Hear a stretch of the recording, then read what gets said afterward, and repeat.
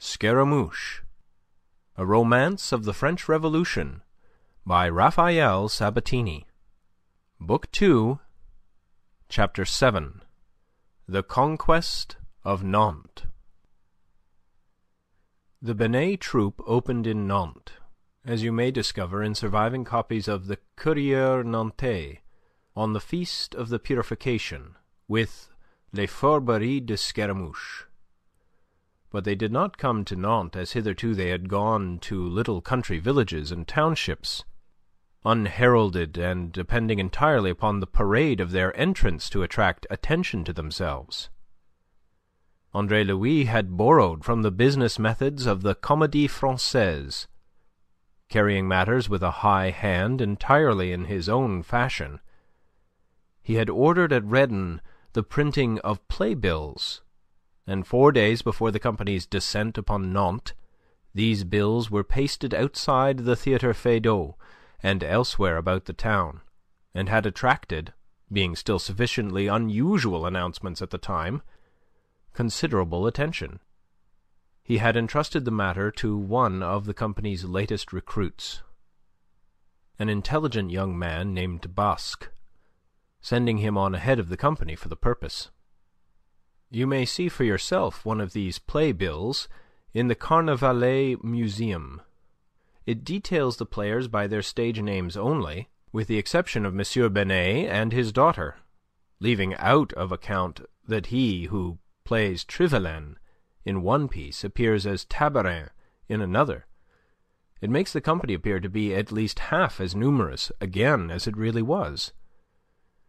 It announces that they will open with Les Fourberies de Scaramouche, to be followed by five other plays of which it gives the titles, and by others not named which shall also be added should the patronage to be received in the distinguished and enlightened city of Nantes encourage the Binet troupe to prolong its sojourn at the Theatre Feydau.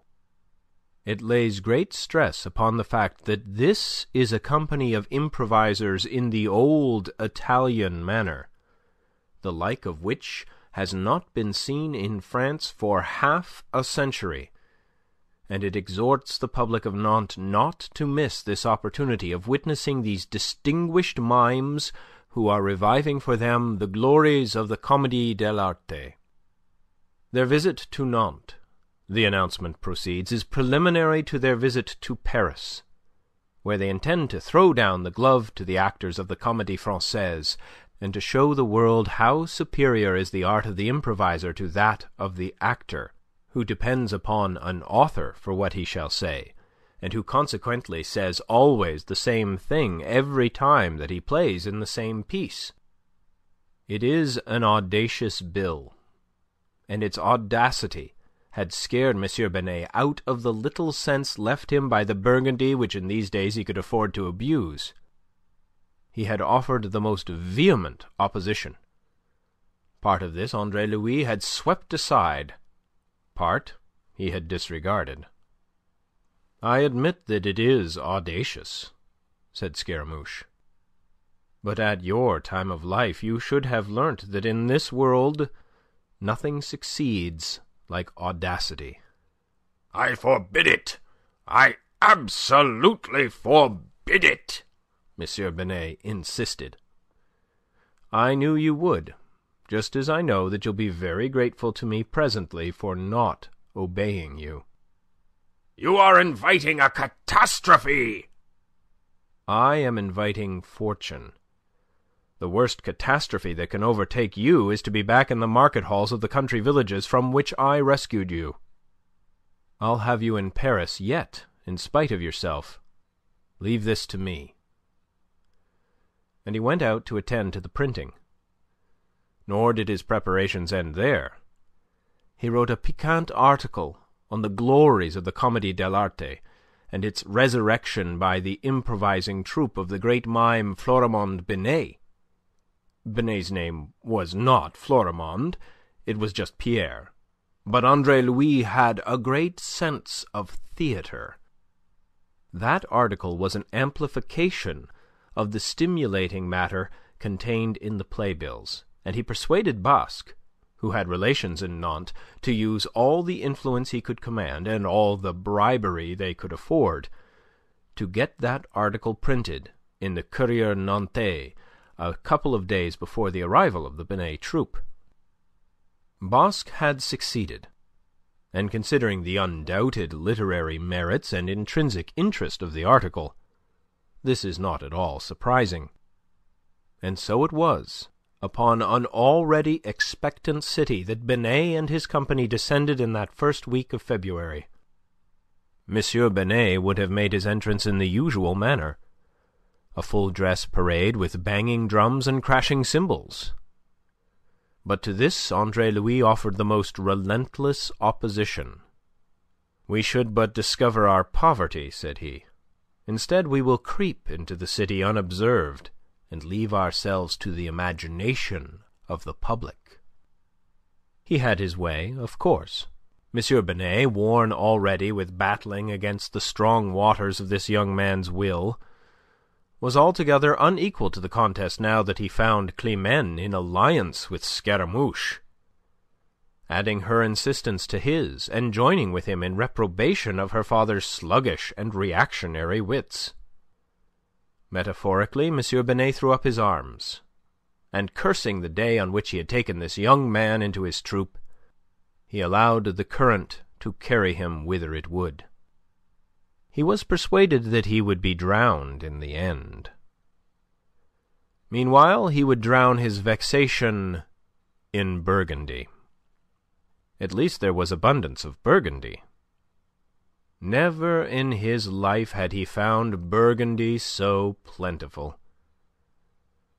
Perhaps things were not as bad as he imagined, after all. He reflected that when all was said, he had to thank Scaramouche for the Burgundy. Whilst fearing the worst, he would hope for the best.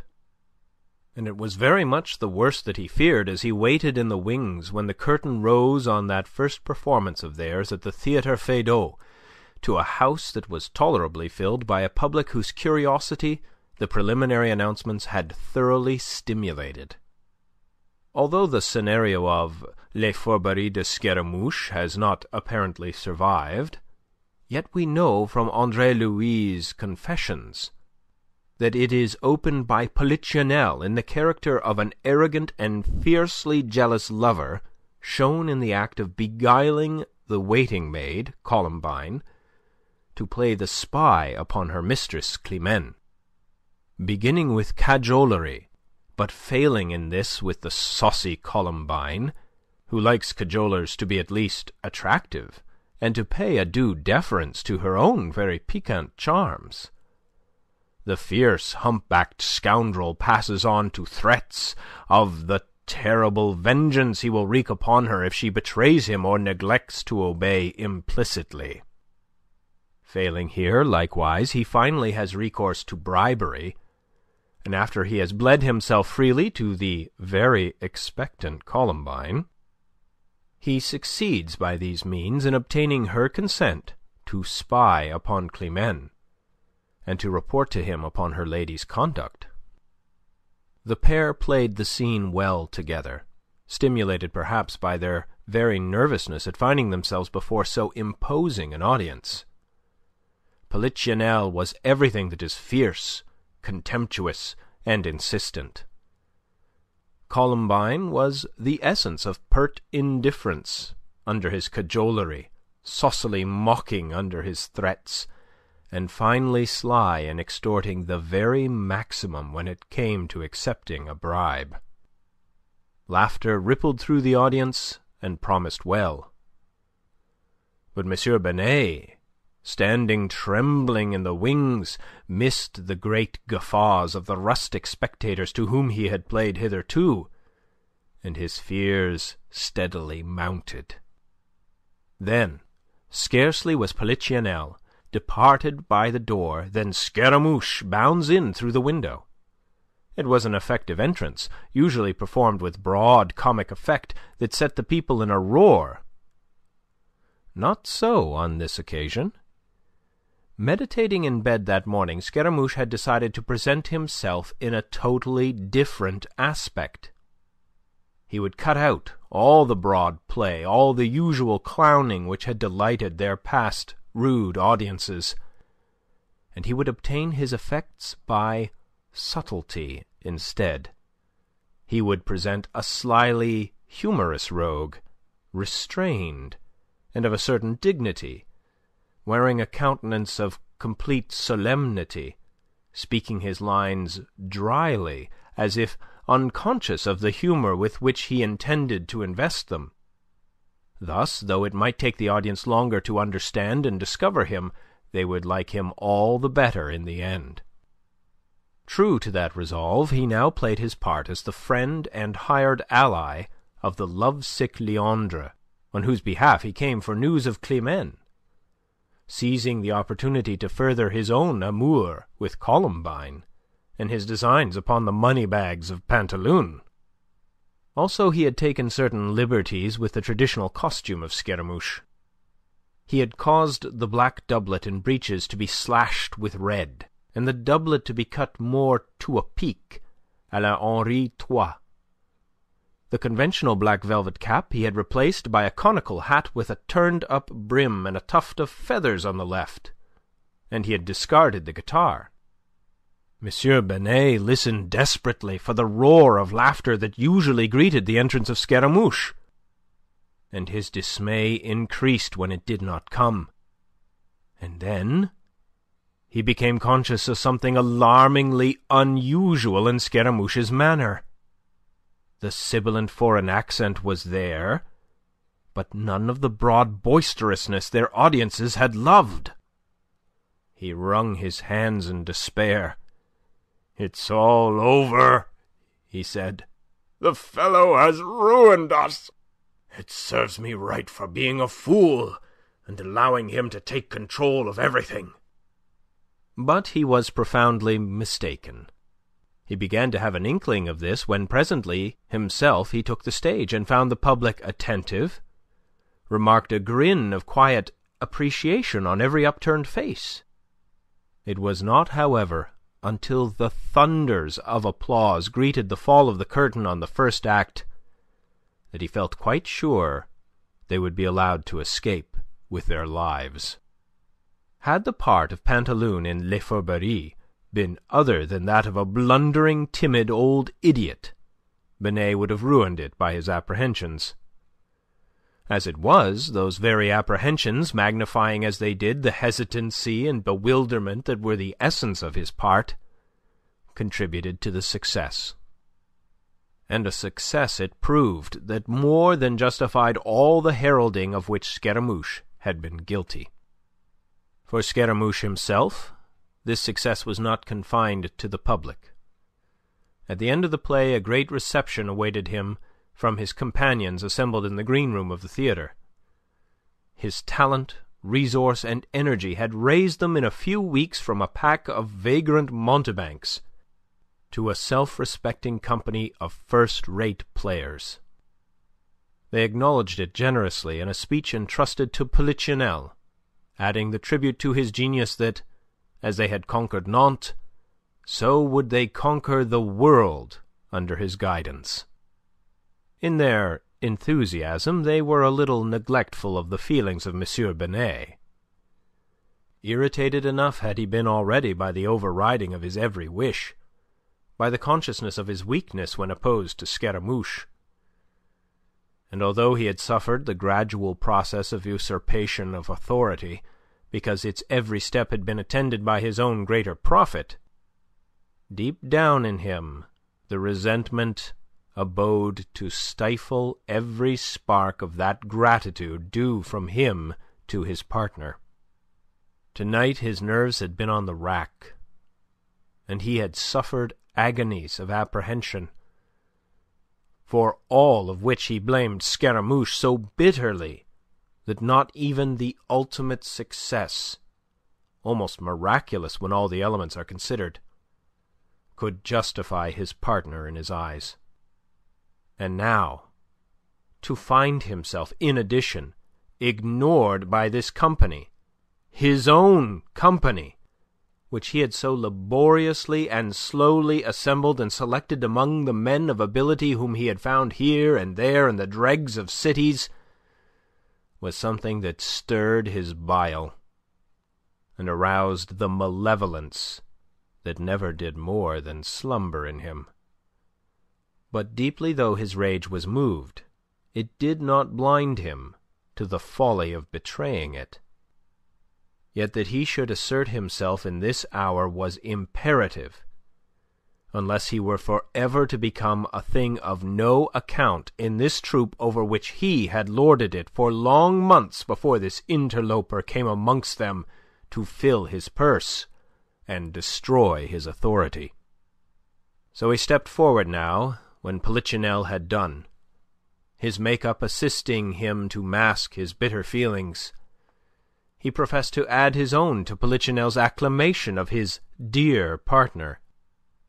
But he did it in such a manner as to make it clear that what Scaramouche had done, he had done by M. Binet's favour, and that in all M. Binet's had been the guiding hand. In associating himself with Polichinelle, he desired to thank Scaramouche much in the manner of a lord rendering thanks to his steward for services diligently rendered and orders scrupulously carried out.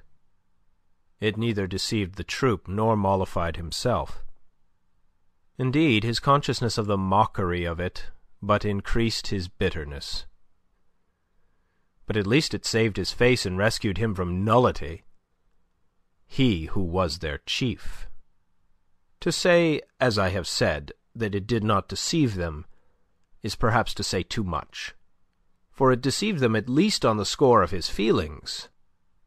They believed, after discounting the insinuations in which he took all the credit to himself, that at heart he was filled with gratitude, as they were. That belief was shared by Andre Louis himself, who in his brief, grateful answer was very generous to M. Binet more than endorsing the claims that M. Binet had made. And then followed from him the announcement that their success in Nantes was the sweeter to him because it rendered almost immediately attainable the dearest wish of his heart, which was to make Climene his wife. It was a felicity of which he was the first to acknowledge his utter unworthiness. It was to bring him into still closer relations with his good friend M. Binet, to whom he owed all that he had achieved for himself and for them. The announcement was joyously received, for the world of the theatre loves a lover as dearly as does the greater world. So they acclaimed the happy pair, with the exception of poor Leandre, whose eyes were more melancholy than ever. They were a happy family that night in the upstairs room of their inn on the Quai Les Fosses, the same inn from which Andre Louis had set out some weeks ago to play a vastly different role before an audience of Nantes. Yet was it so different, he wondered? Had he not then been a sort of Scaramouche, an intriguer glib and specious, deceiving folk, cynically misleading them with opinions that were not really his own. Was it at all surprising that he should have made so rapid and signal a success as a mime? Was not this really all that he had ever been, the thing for which nature had designed him?